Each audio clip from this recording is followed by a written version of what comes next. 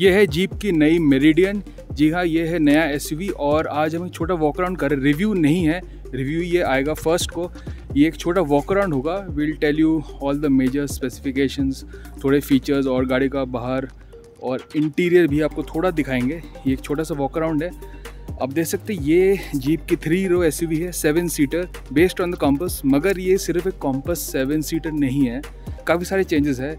जो review driving वो हम बात करेंगे रिव्यू में। अभी हम बात कर देखिए आप टिपिकल जीप ग्रिल फ्रंट में आप देख सकते हैं, और गाड़ी लंबी है काफ़ी। आप देख सकते हैं 18 inch alloy wheels Meridian branding side में काफ़ी लंबी है। ये है पीछे से। इसके रियर स्टाइलिंग काफ़ी सिमिलैरिटीज़ है जो जीप का और प्रीमियम एस है यूएस मार्केट में उस एस से। ये है गाड़ी की साइड से व्यू काफ़ी लंबी गाड़ी है लेंथ वाइज और आपको काफ़ी सारे जीप डिटेल्स मिलते हैं including the wheel arches square ये है एलो व्हील्स और थोड़ा सा आपको अंदर का दिखा देते हैं। आपको डिजिटल इंस्ट्रूमेंट क्लस्टर मिलता है।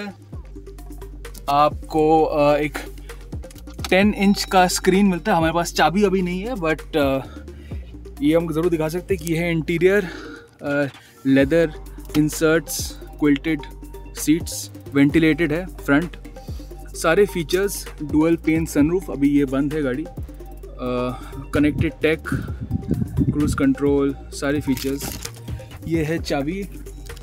ये आपको सेवन सीटर में मिलेगा अभी। बेंच सिक्स सीटर ऑप्शन शायद बाद में आए। आप इससे देखिए, आपको थर्ड रो एक्सेस के सिर्फ़ one touch tumble down option easy access है। ये है थर्ड रो अभी थर्ड रो ये है थर्ड रो काफ़ी इजी ऑपरेशन है। ये है सेकंड रो